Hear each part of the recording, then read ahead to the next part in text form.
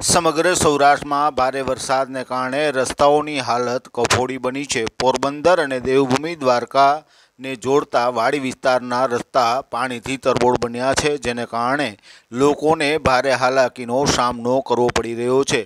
પોરબંદર જિલ્લાના સિંગડાથી દેવભૂમિ ગોર, દેવભૂમિના ગોરાણા ગામ સુધીના રસ્તા ઉપર વરસાદી પાણી ફરી વળ્યા છે, જેને કારણે સ્થાનિક ખેડૂતોને ભારે મુશ્કેલી વેઠવી પડી રહી છે.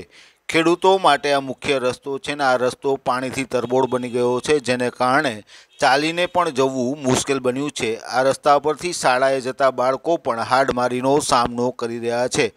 જેને કારણે બાળકોને શાળાએ જવું પણ મુશ્કેલ બન્યું છે.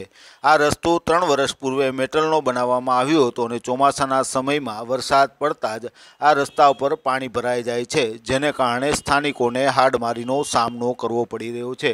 આ રસ્તાને સિમેન્ટથી અથવા તો ડામરથી ક્યારે મઢવામાં આવશે તેવા સવાલો સ્થાનિક ખેડૂતો ઉઠાવી રહ્યા છે. બ્યુરો રિપોર્ટ પોરબંદર ખબર.